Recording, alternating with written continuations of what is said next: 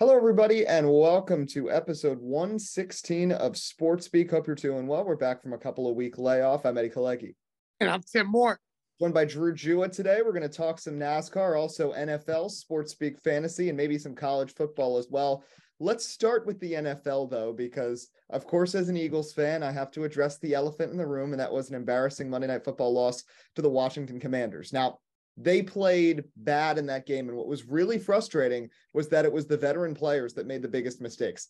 Quez Watkins, I don't understand how he fumbled that ball on the 60 yard catch. Just stay down on that play. You already got 60 yards. He gets up, he's holding the ball up by his head, and then a Washington secondary player just comes and knocks it out of his hands. And then the play that ended up sealing the game with Brandon Graham hitting Taylor Heinicke like three seconds after he took a knee, that, that was not good either. But I still have faith in the Eagles. You know, I still have faith in the Eagles because there are some people that were drawing comparisons between them and the 2020 Steelers. I don't think the Eagles are going to go on that sort of a collapse. I will say, though, there's not a lot of easy games for Philly in the second half of the season. They still have to play the Giants twice, they still have to play Dallas once. They have Green Bay and Tennessee, and they, Chicago and Indianapolis. And the Eagles' big problem right now is that they can't stop the run with Jordan Davis hurt and Fletcher Fletcher Cox getting old.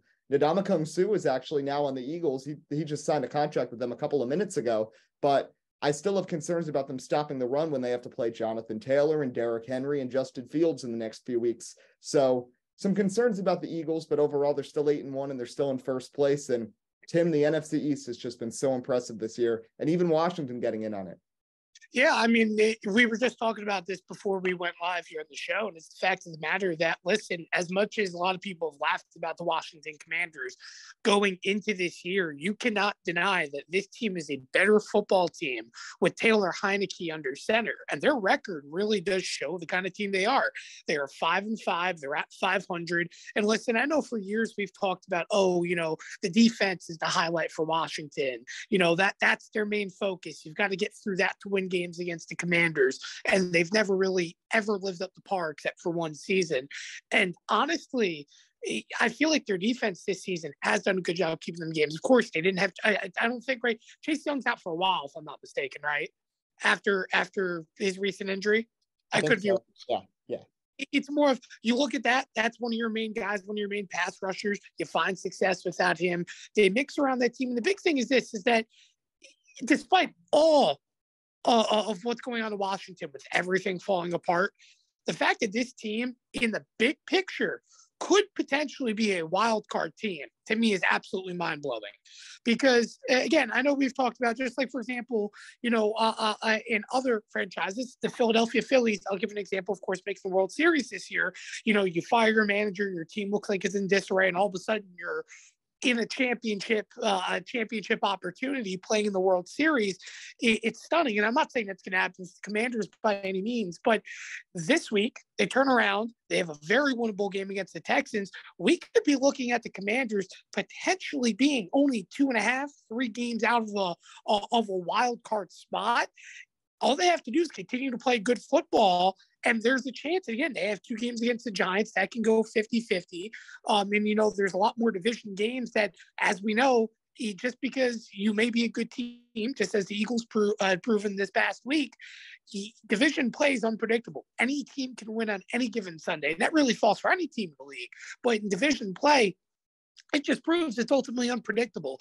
But the, the fact of the matter is, if you would have told me 11 weeks into the season that every single team in the NFC East would have been above 500, I probably would have called you nuts. Because believe me, yes, did I believe the Giants are going to go 11 6 this year? 100%. Did I believe the Eagles and the Cowboys were, were going to be above 500? Of course, I predicted Dallas to win the division and not Philadelphia. Um, and I felt Philadelphia was a good team, just again, needed to prove itself. But I definitely didn't expect what we're seeing from Washington to this point.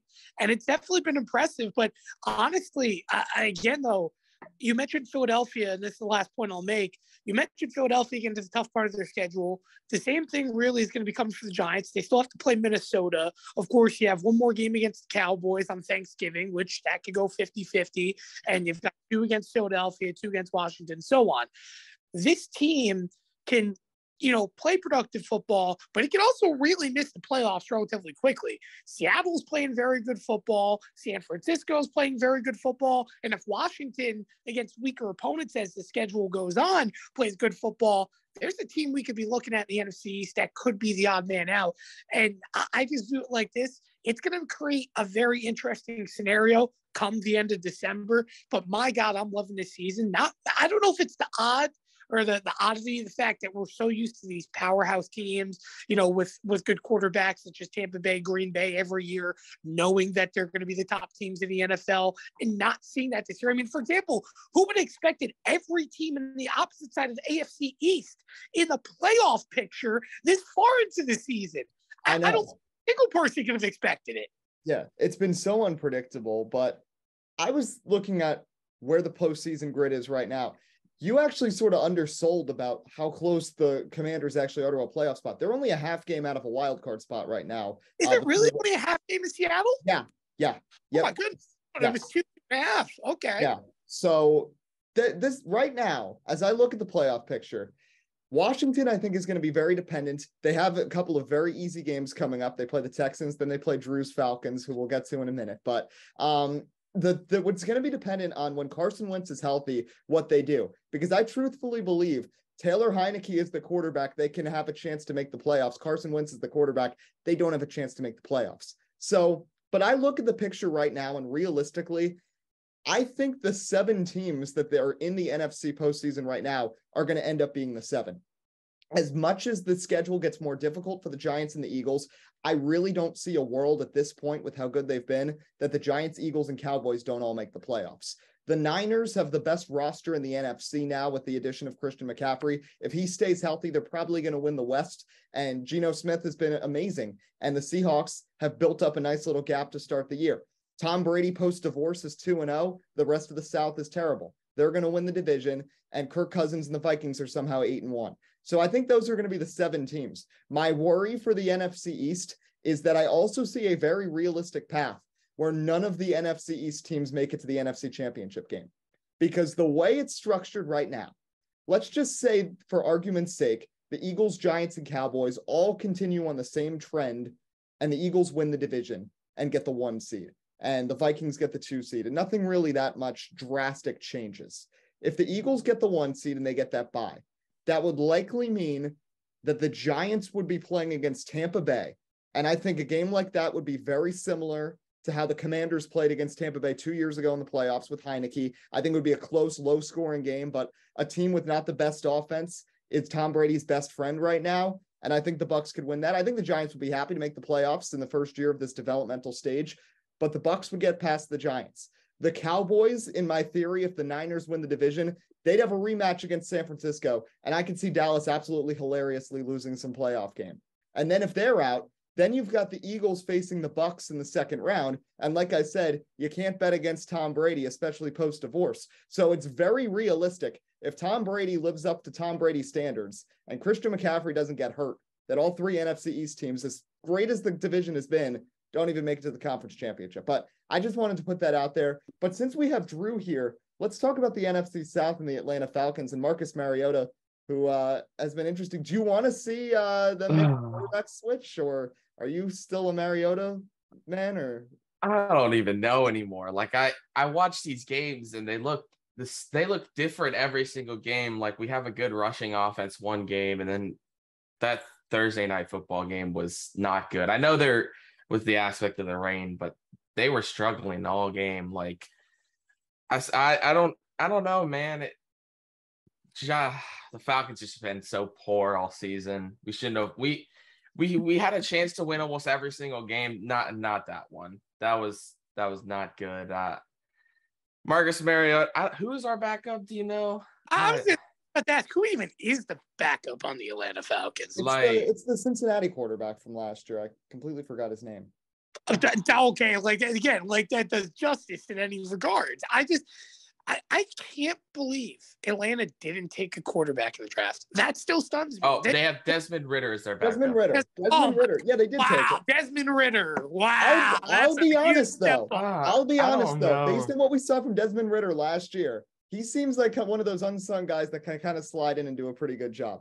I could see Desmond Ridder being a better quarterback than Malik Willis or Kenny Pickett. I honestly, honestly, what I would like the Falcons to do is try and do like a Patriots experimental where they go back and forth with uh, those two quarterbacks, um, because I feel like Marcus Mariota's starting to hit his limit. He's kind of like trying, starting to regress, and I mean, he he's done his job as a Falcons quarterback this season, but it's not the future. It really isn't. I would like to see Desmond Ridder get a chance. Well, well, I do want to say this. I don't think the expectations for Marcus Mariota were quite high, to be honest. And I will say the Falcons, in my opinion, although we really do talk about this every season, they've outperformed expectations, but also at the same time didn't reach their expectations. And the reason why I say this, the Falcons, there's a lot of games this year, and, and really it's been the same case the last two years, where if you look back in the schedule, you're like, wow, this team could have made the playoffs if they just played good for you know another five more minutes in the game or maybe didn't make that you know big turnover or you know fall apart in a big moment blow a big lead ever hear that one before you know the, the big thing for atlanta is they're still in an opportunity, eh, which again, very slim. It's Tom Brady, the Tampa Bay Buccaneers finally find to find their stride. But you're in an opportunity to still win the NFC South. Of course, a wild card, let's be honest, unrealistic for Atlanta. But this team, all it needs to do is just find a little pep in its step and a little bit of uh, you know motivation. But the fact of the matter is, I, while I feel like Marcus Mariota hasn't performed, he's not a starting quarterback worthy of playing in the NFL, in my opinion. But he's there because he's there. I feel like he's actually outperformed expectations because if I'm being honest, if going into the season, I would have said, eh, with Marcus Mariota, this team's maybe winning two, three games this year, and they've already beyond done that. So I think for Atlanta, the fact of the matter is you've got to find something. And oh, let's not forget this. You know, they started the year, didn't have Kyle Pitts for a little bit after he, he started off pretty nicely. But what do the Falcons really have? Think about it. They, they lost Russell Gage to Tampa Bay. They traded away Calvin Ridley, but he wasn't going to play this year anyways who does who, who, does the Falcons actually have to catch balls? It almost feels like the New York Giants situation. Just the Giants have a better quarterback, as crazy as that sounds, and a run game. I really can't think for Atlanta how, uh, as as an offense, they can be constructive in any way possible. Which is why Marcus Mariota, being a quarterback, he was pretty much set up for failure. I feel, and that's why I think he's actually outperformed his expectations at this point in the season. Yeah, I, I think it's a fair point. It, it's it's a weird spot for them to be in. Also, I think it's becoming more and more evident that it was a horrible decision to draft Kyle Pitts as early as the Falcons did last year. He's still got potential, but I don't know. Drafting a tight end that early when you have many more important issues to solve on your team probably wasn't the best strategy. But I want to shift to the AFC now, where Tim alluded to it a few minutes ago we're talking all about the NFC East. Right now, all four AFC East teams would make the playoffs. and the West, that was so touted coming into the year, only be the Chiefs. But I think we got to talk about the Buffalo Bills because they've lost back to back games, both one possession games to the Jets and the Vikings, both great games that came down to the very end. But I think it's fair to say that there's some concerns. And I know last year the Bills ran into some trouble around the midway stage of the season, they dropped a couple of games they shouldn't have, specifically the game against Urban Meyer and the Jaguars. But, you know, in its in his year this year, where the AFC East is much more competitive, the Dolphins are great. Tua is playing borderline MVP level. The Jets have a really solid team, and New England is probably very comparable to their roster that they had last year and are probably going to finish around the same as they did last season. The East is difficult. And the Bills have dropped back to back. There's concerns about Josh Allen's health with the elbow issue. And now you look at the next two weeks, and I feel like there are two potential trap games here because they play the Browns, and suddenly they're talking about how there could be six feet of snow. So that game could either be moved to a neutral site at Detroit, which throws off any sort of home field advantage the Bills would have, or it's going to be played in a massive snowstorm, which really levels the playing field. And then they do play the Lions on Thanksgiving Day. And say what you want about the Lions, but they have back to back wins in division play. And you know they're going to be pumped up, and Dan Campbell's going to have them pumped up to play on Thanksgiving with Are the Bills also coming up in a short week. Are they playing in Detroit? Yeah. Or is it yes. so? It is again. Dan Campbell at home. I, I'm just you can't underrate the Lions there at all By the way, he got his first road win last week, something that nobody thought he'd ever be. The Lions hadn't won a road game in two years. That's kind of insane. But uh, Drew, at this point with the Bills, they've dropped back to back. They're now back somehow in third place in the AFC East. Do you have worries about them going forwards? Um, to make the playoffs, no. I think they're a solid pick uh, to make the playoffs. Um, I'm looking at the schedule here. They got a pretty tough schedule. They got a about four or five uh division games left. Uh, two being the Patriots. Um, they also play the Bengals. So I feel like they're gonna not have the easiest way out uh to the playoffs, but how they looked earlier this season, they they were dominating games and a lot of those games weren't really close. I know they they had a close game against um the Dolphins. So my only concern is if uh, Josh Allen stays healthy and uh, the defense, you know, stays healthy. I think they have a pretty easy way to the champion uh, to the playoffs. But um, with how this season's been, it's been so unpredictable. You know, these we thought um, the pay uh, the Packers were going to do good without uh, Davante Adams, but that's not the case. So I'm not too sure. I think they do, but this season's been too unpredictable to tell. Yeah. Now, one other NFL topic I want to get to: the Colts beat the Raiders. We know the Raiders are a disaster. Davante Adams leaving the Packers. It, it, it's it's hurt the Packers and the Raiders. But the Raiders lose to the Colts, and the Colts with Jeff Saturday as the interim head coach. And this has become one of the bigger debates in the NFL over the past week or so. Some people in the media are really excited about Jeff Saturday getting this opportunity. And personally, I side with them because I think this is cool to let someone with a unique perspective come in. And there are others who say that this is a disgrace to the coaching profession because he has no experience. I want to let both of you sound off, but let me just give my two cents here.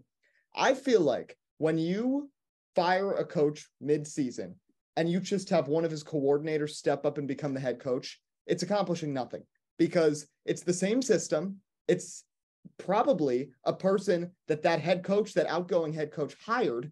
So he was working for that head coach. So what is he really going to change? Maybe he'll take advantage of the opportunity being a head coach now, having this new role and try to switch things up. Maybe he didn't see eye to eye with the head coach, but it's much more likely that you'll find success by bringing in someone new. And if you're going to make the argument, well, maybe the Colts just want a tank. Well, if the Colts want to tank and continue to play badly, then why wouldn't they keep the bad coach and Frank Reich on the staff for the rest of the season? So I think this is a smart move. I think this is a popular move that Jim Irsay made. And at this point, they're one and zero. Oh. I'm not. I don't. And the expectations are so low for Jeff Saturday that anything good is going to seem great. So, Tim, I'll go to you first. What are your thoughts on this Jeff Saturday move? I love every single bit of this move. And I'll first start with how Jeff Saturday addressed the media. Listen, he made it very, very clear. Does he have coaching experience? No. But he also made it very clear listen, he's played in the NFL for 14 years. He's played in two Super Bowls. And my man has played with, I think it was a five, six Hall of Famers throughout his career. And his statement was simply this he knows what success looks like. Just because he doesn't have any coaching experience doesn't mean he knows what it's like to put a locker room together or feel what it's like to be a player. And it honest to God really reminds me of someone else that currently coaches the NFL that we were just talking about a moment ago.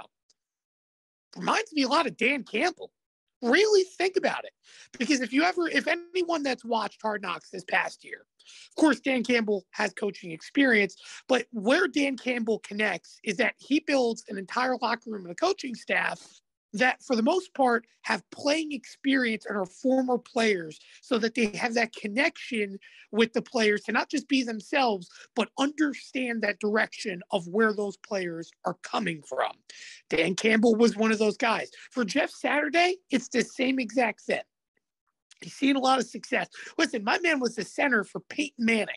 There's no better coach you can learn from, in my opinion, than Peyton Manning being that guy right behind you telling you directions. I'm excited for this. I really am. And like you said, anything positive for Indianapolis at this point is huge. But listen, I, I know some people in the coaching profession may be a little bit uh, feel a little bit disrespected because I get it. There's a lot of people that work hard, put in effortless hours, especially as assistants, to just try to get that opportunity. And honestly, Eddie, I think to, to that point of why you see that direction more often than not, not just to keep the team, you know, intact of a familiar system moving forward, but it's the fact of the respect to those coaches and the coaching staff that listen, we understand you're putting in all these hours and thus the opportunity should come from there. But I think it breaks the barrier in regards to the fact that listen, I think there should be coaches in the NFL that have a good, deep understanding of the game that may not have coaching experience. Or for example, let's look at the basketball end for for a moment, right? You have coaches in the NBA that may have never played the game itself, but are good at coaching. And there are people like that. I mean, think about it. I mean, realistically, think about Gregg Popovich. Gregg Popovich never played the game, but Pop's a really good draw up guy and knows a lot of basketball because he fell in love with it. It could be the same exact way, you know, in the NFL. And I get, I understand the idea of, you know, former players become coaches and so on. And he does fall into that scenario. But the idea is the fact that he doesn't need to be a coach to do it. And I'm loving, like I said, every single bit of this. And listen, I know the Colts aren't going to go out and win every single game. That team on paper is not built to win games, let's be honest. But if this turns out to be a success and you see a big change in a positive way for Indianapolis, I want Jeff Saturday back next year. And it's that simple because I think the NFL is an opportunity to break barriers, just like how bringing in female assistant coaches to try to break females into the NFL to become a head coach. I think it should be the same exact way for, you know, players that have a very good legacy and are going to impact as individuals that may not have coaching experience to try to get their hand in the NFL. Um, and I think this is a good first step. And it's definitely exciting to see what Jeff Saturday can bring because he's a very good personality. Drew, how about you? Uh, I'm not gonna I'm not gonna short it. I feel like the same way as Tim. I feel like uh, any win and any W in the column is a step in the right direction. I feel like if they continue, I why go away from him? I mean, they're they're if they put in the wins and they even have a chance to make the playoffs, which I know is a pretty slim margin with how good the uh, AFC East teams are doing. But if that's a possibility, why would you move away from him? He's those wins our wins at the end of the day. I mean, I know he made a questionable move with Matt Ryan coming back, and honestly, Matt Ryan looked like a good quarterback that game, and Jonathan Taylor actually came to life and you know break, broke his like 3.4 average per game. So um, I think it's a good move. Um, if they fall down the same path, then that's when I think you have to start questioning it. But um, I think it's a good move to for the end of the season. So one quick thing in the NFL, we got about 10 minutes left in the show. Uh, Sports Speak Fantasy Football League standings. Well, I've tumbled a bit because I've had two uh, pretty oh, rough, close losses in a row to big teams in the East, to Zoe and to Tim. Tim is now in first place in the East at eight and two. Zoe now has the tiebreaker over me, so she would be the two seed from the East at seven and three. Poach and Franks are tanking basically. Uh, and, and I are going for the one seed this week. Whoever wins takes it. So yes. you got to remember Yes, and then Rahil's at nine and one, uh, eight and two for Mr. Bellows, and then I see the best ginger. Now you've beaten both of the other gingers this season, so at least you, I know, I know, you, you own that fun. title, but you're four and six. So okay, I was, I was like Tim said, I have a really easy path to maybe make the playoffs, yeah. and, and, then, then I lose to, and then I lose to Pocha. Then I lose to Pocha. Coach, oh. Coach has one had one win going in the last yeah, week. bro. Outside of outside of Joshua Franks, he had the worst points put up in the league, and Drew found him in the worst week possible. Dude, the my, worst week possible. Well, I'm looking at my team now, and I'm averaging 86.9. I'm like, how is that possible? And I put Kyler Murray back in because he projected. Now he's not. So it's like my team has been injured like uh, so many injuries this whole season. It's frustrating. Uh, say the same thing with Miniker. I'll tell you what, Miniker is like of the one win teams. You know, Poach hasn't exactly been the most active, if I'm being quite transparent. But for example, Miniker, I think, has one or maybe he just got a second one last week. I don't remember. But I mean, my man has been trying his hardest trying his absolute hardest to better his team because literally almost everyone in that roster has either not played well uh, in terms of living up to fantasy expectations or has gotten hurt. I mean, I just traded him Kittle, and Kittle had a horrible week last week, and I feel bad because he, he gave me uh, Freiermuth, which I think we've been the only trade this season, and it's just like, man, I just gave you an upgraded tight end to try to help you out, and instantly it's not panning out for you. Well, well, I have a lesson to teach here. This is why you do not draft players because they play for your favorite team. If well, you look at my if you look at my fantasy teams, I don't have that many Eagles aside from Dallas Goedert, and I think I have like AJ Brown on like one team. Miniker took a lot of Broncos and took a big risk with Broncos country. Let's ride. He's got Sutton, he's got Jeudy, and he's got Russell Wilson. Now he's got Mahomes because remember we did the weird like gimmick draft. So Mahomes was able to slip to like the 10th round to at first be his backup quarterback. And then I mean when you look at his roster, it's really not that bad. So I, I think he's got a chance to maybe steal a couple more wins. He plays Bellows this week, so he's not winning that one. He, see where I've gotten bailed out this season, I will say, is that I had a lot of my injuries early in the season, which means, of course, based on rules for those that don't know, the only way we're allowed to pick up transactions in the league is rather if we have a player on a bye week or if we have a player get injured and we can physically in the franchise, uh, the franchise, goodness, this isn't Madden, uh, but in the in the in the league, put them into an IR slot. So, needless to say, I had two players in the first week go on IR. Well, guess what? I was able to, you know, add a little bit of depth in those positions. I ended up getting Curtis Samuel, which was a massive, massive surprise because I didn't expect the success he had. And uh, oh goodness, I think I had Jamaal Williams as well uh, in the running back spot that I was able to end up picking up, and he's been with me, you know, all the way around. And of course, I think I have Alvin Kamara and you know a whole bunch, a whole bunch of variety of players now. And it's like I'm, I'm in terms of depth, I have so many options on the bench and it's like in the running back spot because I really like to load the running backs um, as much as I can get them. But it's like I have too many options now, but now I have nobody hurt, so I can't cut them either. So I'm just like looking for bye. For example, Deebo got went on the IR last week for me briefly. I was able to get him back, but it's like, oh man, who who do I replace? Who do I let go? I can't figure out. So it, it's been chaotic, but it's definitely been a lot of fun this season. And I look forward to the next draft in terms of uh, the crazy gimmicks we'll have because I definitely am coming up with more ideas as the year goes on. Let's shift to NASCAR now. We're all here, so let's congratulate the king of 2022, Tim Moore. Now, of course, disclaimer: Drew was not here for race one. He joined about five weeks in, so six, six, six. And I led for the first 30 weeks in the standings, and how dominant I was to start the year. The first 10 races, despite all the next gen malfunctions, my worst finish for a driver was 12th and then I just fell apart after that. And then Tim slowly came back. And then in the playoffs, I had some disastrous choices. Hey, that's not the that's not the only person I've ever heard of collapsing after about 80% of the way through the yeah, season. I know, I oh. know. I know. Oh. I remember Frank the, Frank the Tank would understand exactly what I'm talking about. So I'm thinking more of the Mets, but yeah, you know, it's oh yeah. yeah oh, yeah, Frank, oh my goodness. I, I took that a little bit slow. My bad. I thought you were gonna say 80% way through the game, and I was about to say um oh, I don't know what you're talking about. Yeah. So so but someone who did not collapse is Joey Logano, and now he's building quite the resume. He's a two-time champion. He's only he's somehow only 32 years old. He's going to be starting his 16th full-time Cup Series season in 2023. He's won a Daytona 500. Drew, what does this championship mean for his legacy and how far up the NASCAR ranks do you think he's on a path to right now at this point in his career? It just depends. Like this season with the next gen has been so just so everywhere. I mean, we saw the Ross Chastain move, we saw beef throughout the season. Um, I think it's definitely boosted him up. I mean, he's he's nearing Kyle Busch standards. I know Kyle Busch has the most wins uh, out of all three series combined.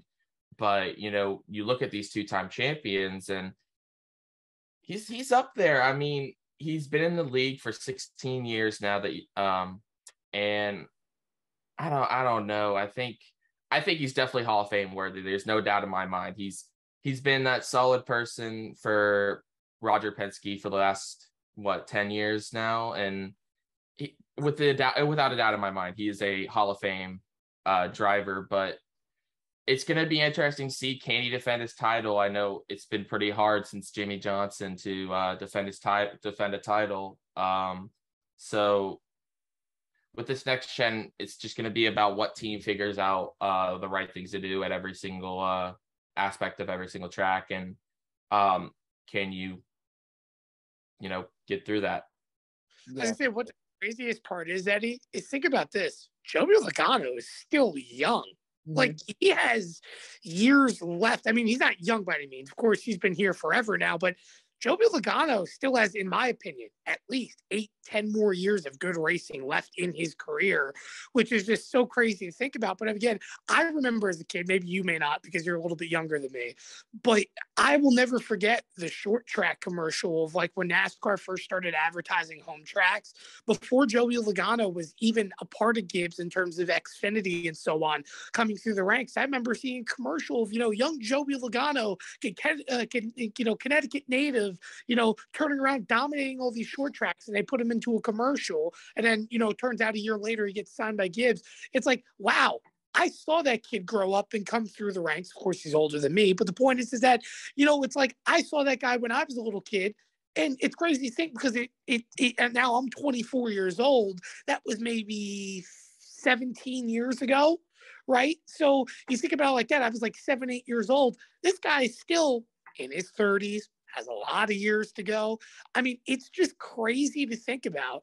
And again, I, a lot of respect to him winning a championship this year. It's cool for Roger Penske. I know it's unfortunate for uh, on the Gibbs end of you know how badly they wanted to see Bell get it because of what happened, but. I just want to say too, I really appreciate how Logano and, and all of Team Penske as well um, handled that with all class. And they really, you know, Logano really handled the situation winning a championship like a true champion. Rather you like Logano or not over the years, you can't say he didn't act like he hasn't been there before. And he honestly really looked like a true champion after after Phoenix. Yeah, for sure. Uh, so the NASCAR season is complete. About a minute left in the show. Let's finish with this, Drew. University of Georgia, probably the best football team right now. They just beat Tennessee. I'm optimistic that a Big Ten team can match up with them, but the SEC always reigns supreme. It seems like uh, at this point, you got the Bulldogs as the uh, championship favorites in college football. Oh yeah, of course. I mean, I think the only team that you know will rival us, and I think we'll see in the uh, the championship game is uh, Ohio State. That's I don't think we've ever matched up with Ohio State in these playoffs. Besides, yeah, but yeah, I think um, that's going to be an interesting game to see. So I I think we got it locked up, but you know this game this everything's been so un- unpredictable this year. Yeah, it's been kind of wild. TCU trying to sneak into a playoff spot. Big Ten trying to see if they can get two teams in for the second year in a row. And then, of course, the SEC has been very exciting too, with Georgia, Alabama losing two games. Alabama, so what happened? what happened, Alabama? We need to get James Draw. We need to get James Draws on Sports Speak. That that's got to be a yeah. goal for the future. But uh, that's gonna wrap up this episode. If we don't post again before Thanksgiving, we wish you and your family a happy Thanksgiving. We got a lot of fun sports going on. World Cup also gets started next week. We're going to talk a little bit about that on our next episode. So stay tuned for that. We appreciate Drew Jewah and his cat for joining us here today on Sports Speak. But until next time, I'm Eddie Kalegi. And I'm Tim Moore. Signing off of Sports Speak. There's the cat right there. Have a great rest of your weekend.